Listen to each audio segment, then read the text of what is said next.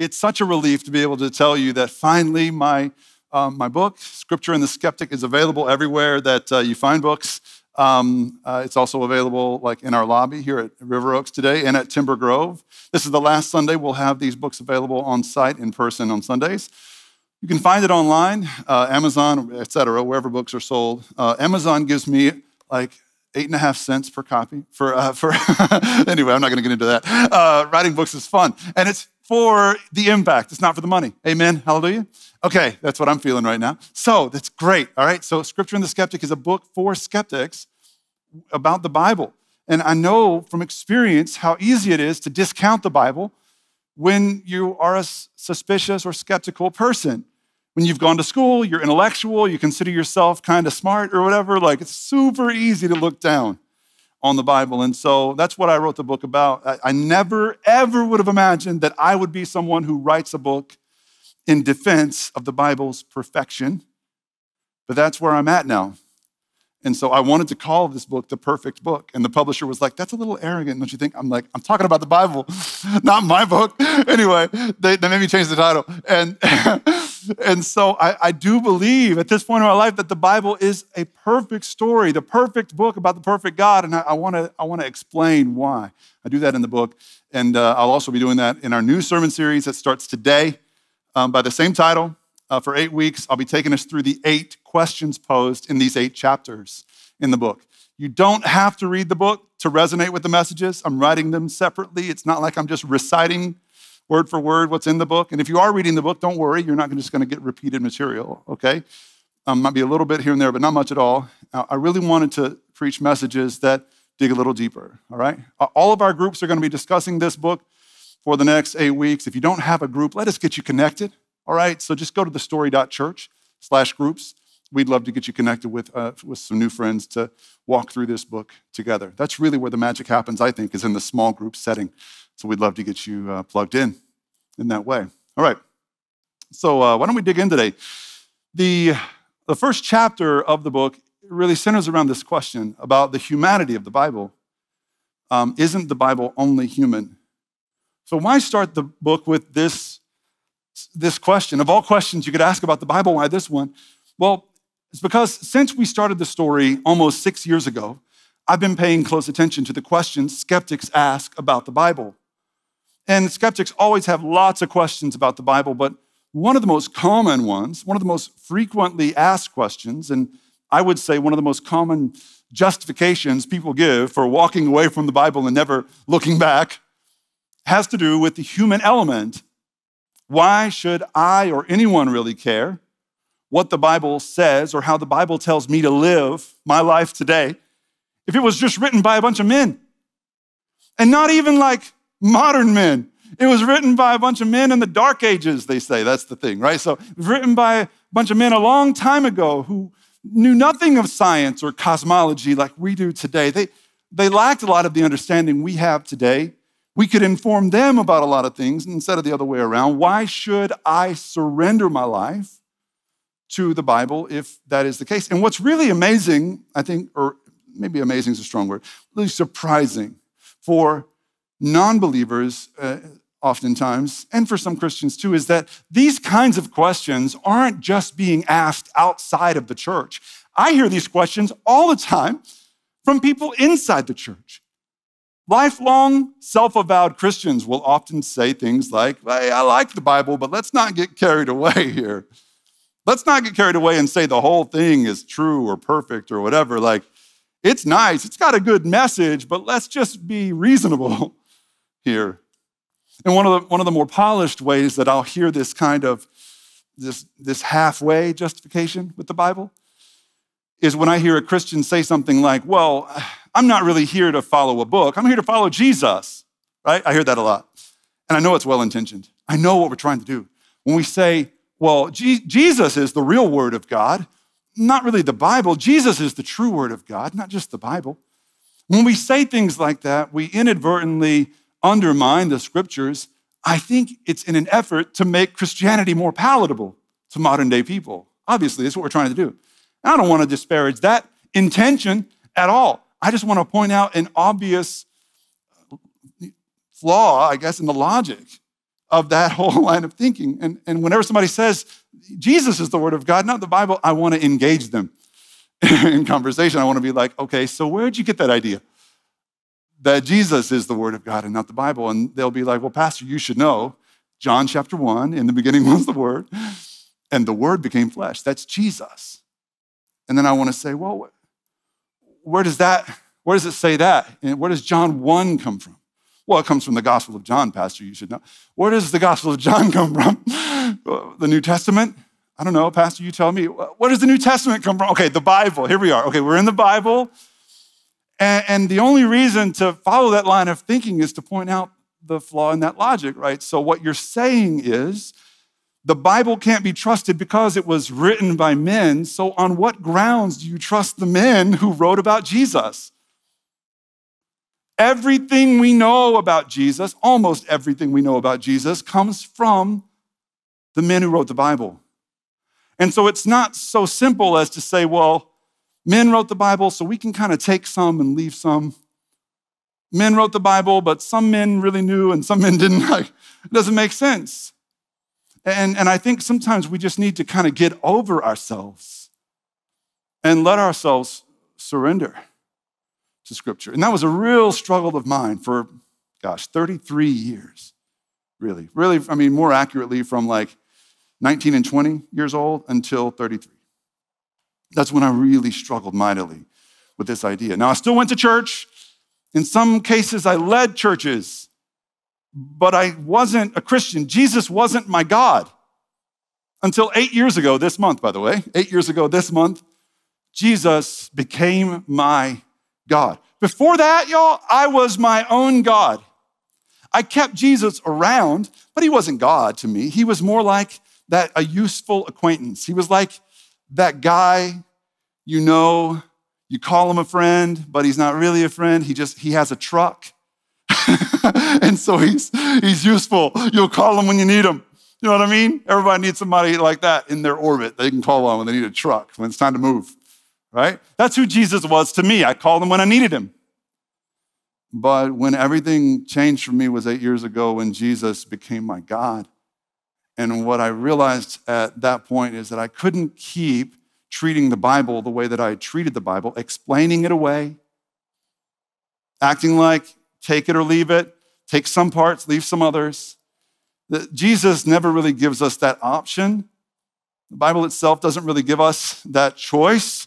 And so we have to decide what to do with the Bible. And when I finally got my own feelings, my own emotions, my own politics and opinions out of the way, and I took an objective look at Scripture, what I found really surprised me. I found a couple of things. First of all, I found um, a lack of excuses when it comes to Scripture. There, there was, I couldn't find one verse where in the Bible it says some of this is true, some of it isn't.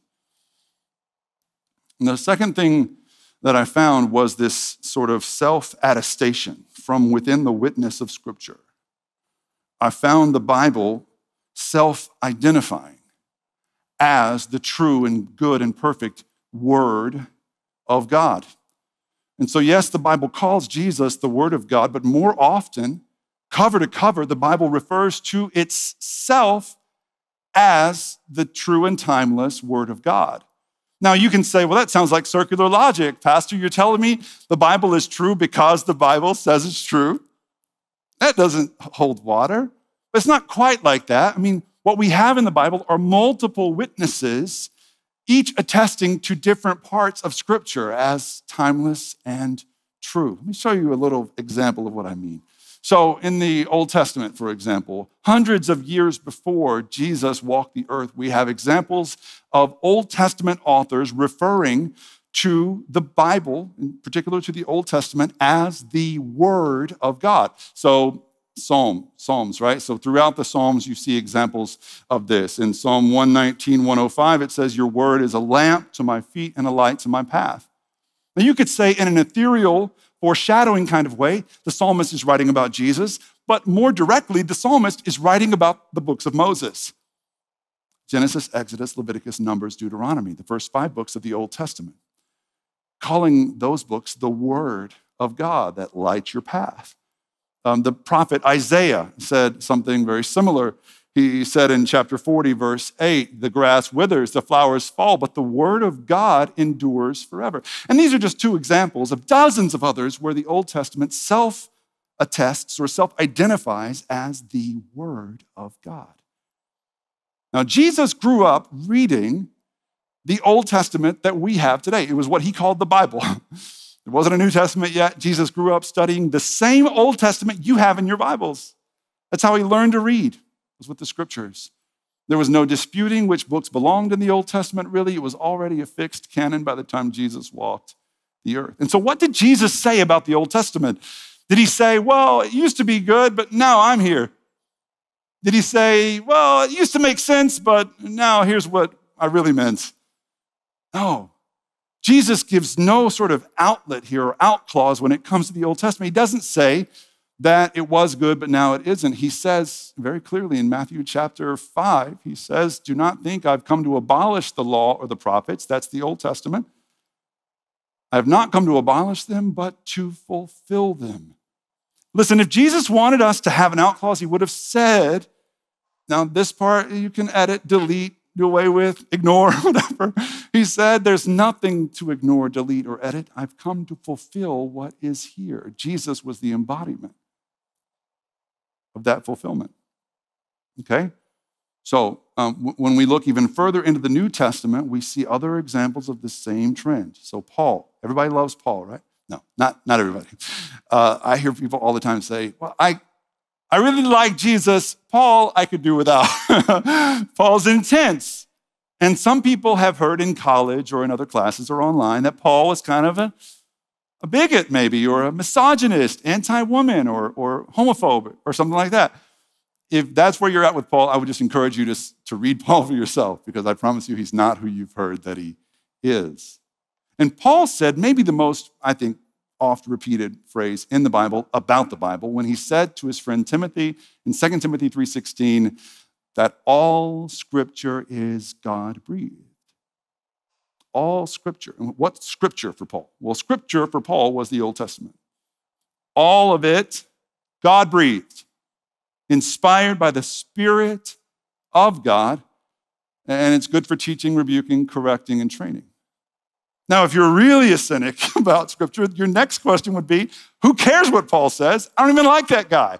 Well, except for the fact that the first Christians, in fact, Jesus' chief disciple, Simon Peter, defended Paul and called Paul's writings scripture too, on par with the Old Testament. And this again is another self-attestation from within the Bible. 2 Peter chapter 3, verse 15 and 16. If you ever want to find really important passages in the Bible, by the way, search for 316. Have you noticed a trend? John 3:16, 2 Timothy 3:16, 2 Peter 3:16. Here we go. Bear in mind that our Lord's patience means salvation, just as our dear brother Paul also wrote to you with the wisdom that God gave him. He writes the same way in all of his letters, speaking in them of these matters. His letters contain some things that are hard to understand, which ignorant and unstable people distort. So they were doing what they're doing to Paul now, hundreds of years ago. As they do, he says, the other scriptures. And there's the key. Let's leave this slide up for a second. The other scriptures other is a tiny word here, but it's huge. Because if Peter wanted us to think of Paul's letters as something less than scripture, he just would have said, as they do the scriptures. But Peter said, as they do the other scriptures, clearly implying that Paul's letters in the New Testament were interpreted as authoritative as the Old Testament, as he was writing them. So Paul wrote half the New Testament in terms of the number of books, 13 letters in the New Testament. And we have clear uh, examples of Paul's writings being referred to as scripture. So I could go on and on with this. The point here is that the Bible doesn't really give us the option to pick and choose. The Bible self identifies and self defines. You don't have to believe it, but don't make up your own definition. Don't make up your own explanation. It's, it's just plain and abundantly clear. You know the saying that when somebody shows you who they are, believe them? Well, the same is true about the Bible. When the Bible shows you again and again and again what it claims to be, either believe them or don't. But don't, let's, as Christians trying to make the, the Word of God more palatable to the world, let's not change the definition or make up our own. We don't really get that luxury. It's kind of more of an all or nothing proposition, right? Now, a lot of the things we say about the Bible to kowtow to culture or to, to try and make it more palatable, things like, um, you know, uh, some of it's good, some of it we can forget about. Things like, well, yeah, there's just there's some evil in the Bible. There's some things were lost in translation. Some books that were supposed to be aren't in there. Some, you know, we kind of just wishy-wash about the Bible. A lot of the things we I hear people saying about the Bible are things you say when you want to like Jesus, but you're not ready to love him. When, uh, it's, it's not hard to find people who like Jesus. Jesus is very likable. Like, he's the only person in American history more likable than Jesus was Abraham Lincoln. I saw this in a study once. I still don't quite get it, but Jesus was second. That's pretty good. So, Jesus, very likable figure. Everybody likes him because he's a good guy and he looks out for the underdog and takes care of the poor and he hangs out with, you know, all kinds of people. And, and so it's hard not to like him. But when you love him, the, the game changes. When you love him, you submit yourself to him. And I'm speaking from experience, this struggle is so real for so many of us because we're proud people. And we, we don't really like to surrender to anything. We, we want to like Jesus, but we also want to keep doing the things we're doing. And for a long time, I liked Jesus, but I also found myself explaining away the Bible. Jesus is cool, guys. The whole Bible isn't, but Jesus is cool. I know the Bible says that about sin, but that's not really who God is.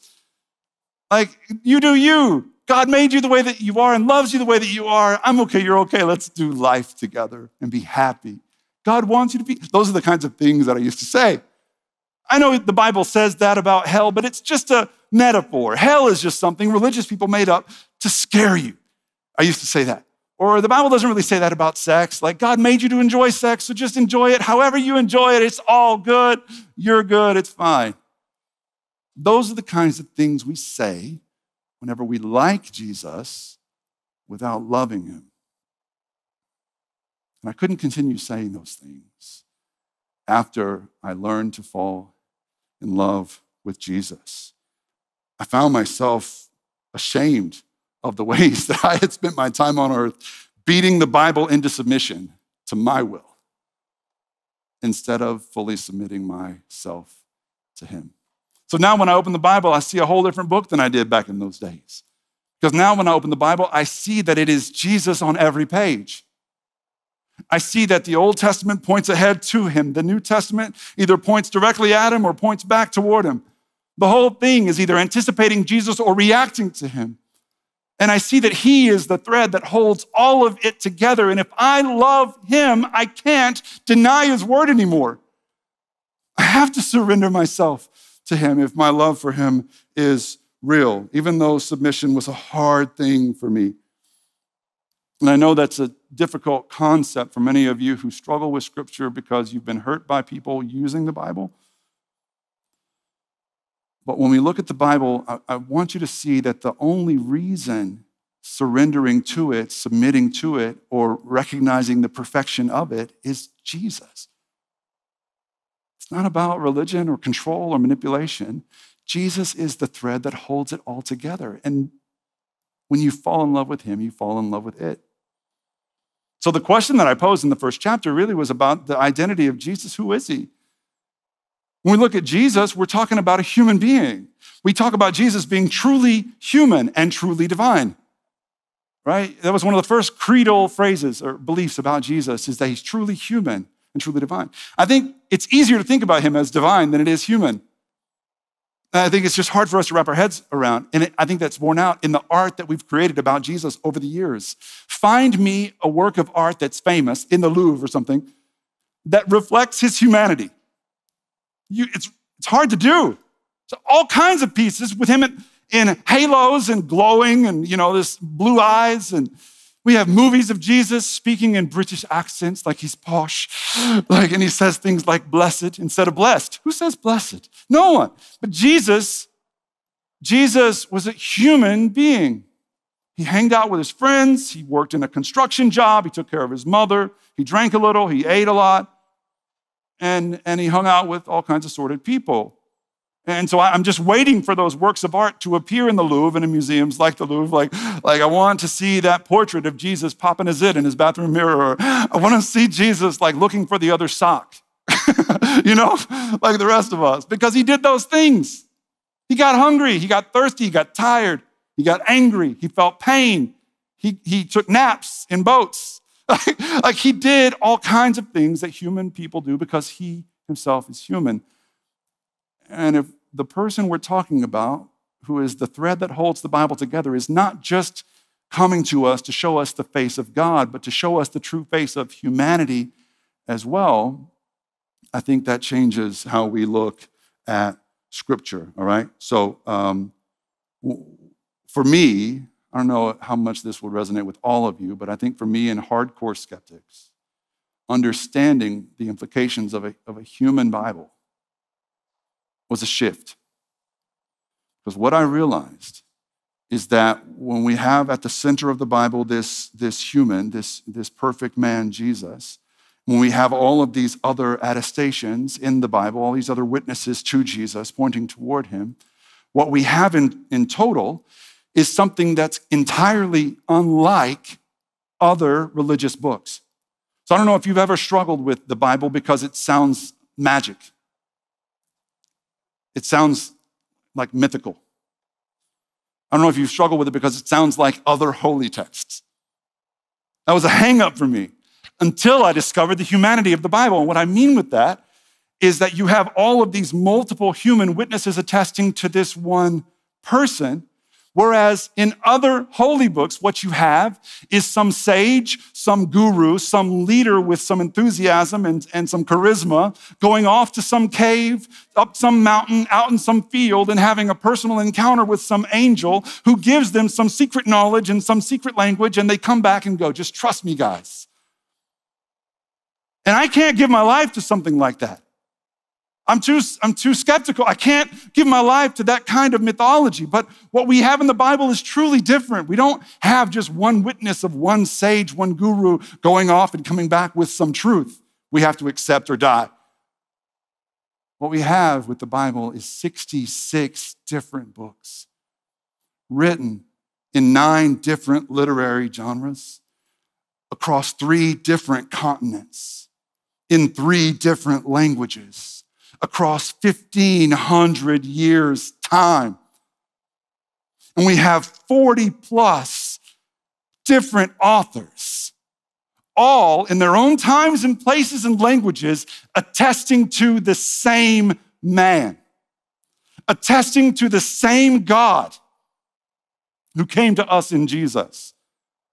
This is truly different. And some of what I'm describing to you is sort of the reason why the Bible can be confusing. I know it's confusing to read something that's supposed to be God's truth, and you've got the same event being described by two different authors in different ways. Which one is true? It induces anxiety in us. But listen, that's part of what God is doing with the Bible, is showing us this human side, this human element. People see and experience the same event in different ways, of course. Think about the alternative. I've talked about this before, but you had four different witnesses to the resurrection, and Matthew, Mark, Luke, and John all kind of saw it a little bit differently. Like one of them saw an angel, the others didn't, and one of them saw two women, the others seemed to saw, see more or less or whatever. Which one is true? The truth of the matter is found in the empty tomb, a fact to which all four of them attest.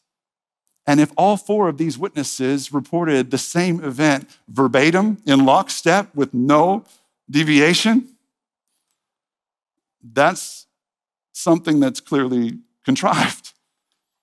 Obviously, that they got together and got their story straight. What we have in the Bible are 40 plus authors who didn't get together to get their story straight. They just told you about what God was doing in the world and what God had come to do in Jesus. That's truly a different story. That's a different book. That's a different kind of witness than what you might come to expect from holy books. The whole thing, all of them, Genesis to Revelation, revolving around Jesus. So when you open your Bible, when I talk about seeing Jesus on every page, this is what I mean. Go all the way back to the beginning. One of the oldest stories in the Bible, Cain and Abel. Remember what happens? It's not a pretty story. The world's first murder, sibling rivalry. Cain says, Abel, let's go for a walk. And he comes back home from the walk without his little brother. Cain took him out. The question is, what did God do in response? Well, God came to meet Cain, and God said to Cain, Where's your brother Abel? And Cain said, What? Am I my brother's keeper? And that question sets the table for the whole Bible. And if you pay attention to the whole narrative, what you see is that question popping up between brothers and sisters again and again and again. Jacob and Esau. Jacob stole his brother's birthright, essentially saying, Am I my brother's keeper? It's not my problem. I'm good. And then he paid the price for it. We have other stories of Joseph and his brothers who sold him out, sold him as a slave, 20 pieces of silver. Are we our brother's keeper? Not our problem. You've got other stories about brothers and sisters, Mary and Martha. Mary, who wouldn't get up and help Martha with dinner, and Martha just complains to Jesus, Lord, am I my sister's keeper? And Jesus comes and answers that question once and for all. Not with judgment, not with hellfire and brimstone. He comes and answers that question with a story about a father who had two sons, both of whom hated each other, both of whom resented their father for different reasons, and they failed to keep each other. They failed to love each other. But even in their failure, even in their fallen humanity, the Father's love was enough to bring them together. Jesus came to answer the cry of our hearts once and for all. Yes, you're made to love. Yes, you're made to keep your brother. Yes, you're made to care for your sister. But even when you fall short, the love of the Father is enough. This is truly different, unique, and inspired. And this is powerful enough to change your life. And that's the best thing about what's happened in my life since I've fallen in love with, with the Bible. I've been able to lead others to do the same thing. And I've seen so many people whose lives have been changed by, by understanding the Bible the way that it was meant to be understood. And I think back even to Kansas City before I moved to Houston with my family. I had a year and a half in Kansas City still to sort of make right what I'd gotten wrong all those years up there. After I came to know Jesus, I had a year and a half to lead people to love God and Jesus and the Bible. And I think about this one person, her, her name was Christina. Christina was in her 30s and she was a sweet, soft spoken suburban mom. And she came alongside of us in our ministry before I had really surrendered to Jesus. And we were a church full of hippies. And she, we just wanted to make the world a better place and sing kumbaya and all that stuff. And that's what we were about before I had that experience in Capernaum. But she stuck with me after that as well. And when I came back and I was just on fire for Jesus and his word, she followed me there as well. And I remember after preaching a sermon about the prodigal son and the father who loved him, Christina said, It's time for me to take this more seriously. And so she left behind her energies and her chakras and her vibrations and all the stuff she used to talk about. And we used to talk about at that church before my conversion. And she said, I got to take seriously what you're saying. And so she started to volunteer in the church office. One day she was in the office by herself. You should know that Christina is as sweet and, and just soft spoken as you can imagine. Five five, maybe 120, soaking wet, like just not a very imposing figure. One day she was there by herself, and two women showed up at the door. Our church was in a very challenged part of town. And Christina later told me that these women were very imposing figures. They were very large people. And she wasn't disparaging them or anything. She, she would never disparage anyone. That's just who she was. But she said they came into the office and they sat down in front of her desk and they said, We're here for sack lunches and bus passes. We always kept sack lunches and bus passes because of the area we were in. People were in need. And so we need some sack lunches and bus passes. And she said, Okay, I'm going to go back and get some. You just hang tight. She went back around the corner to grab them. When she came back to the office, she saw them going through her purse. And she said, in a moment, she didn't even know how to react, but she just said, Excuse me, what are you doing? And they looked at her and they looked at each other and they just bolted. They hit the hallway. They ran down the corridor toward the, the exterior entrance so they could get out. And Christina, instead of stopping to call the cops like I might have, instead of just locking the office door and making sure she's safe, Christina went running after them. Five foot five inch, 120 pound, soft spoken suburban mother of three, Christina went running after them, saying, Wait, stop, stop where you are, don't move. And she chased them down the hallway, but they were faster and they got to the end of the hallway and ran right into the door because they thought it would open when they pushed it, but the deadbolt had locked behind them. And so they just banged right into the door. Realizing they were trapped, they looked back at Christina, who was running toward them with this crazed look in her eyes. And when she got toward them, like within arm's reach, she reached out her arms, both arms, toward them. And in both hands, she had the sack lunches and bus passes that they came for. She said, I don't want you to forget these. And then she unlocked the door, opened it, and said, You know where to find us. Come back anytime. And when Christina told me that story and I watched the footage of the security tapes, I just thought, Christina, what are you doing? You put yourself in danger. Next time, just stay back, call the cops. She said, No, Eric, I just heard you talk about the Father and how he went chasing after his son. And I couldn't not do for them what he's done for me. This love, this God, this Jesus who came to chase us, to claim us and embrace us, even though we've stolen from him, taken him for granted, even though we've denied him. This Jesus changes people's hearts like no one else can. He can change your heart as well. And that's why I wrote this book because we fall in love with Jesus more the more we fall in love with the Bible. I want you to know just how loved you are, even, even when your frail, fallen humanity leads you to fall short and fail, even when you fall into the same trap again and again. The Father's love is enough. It's enough for those women and Christina. It was enough for the prodigal son. It's enough for you and me. You can trust the Word of God. You can trust the Bible and stake your life on it. Try to stand on anything else, and it's like shifting sand, but stand on the foundation of God's eternal Word, and there will be security, peace, certainty, and joy like you've never experienced before. Would you pray with me?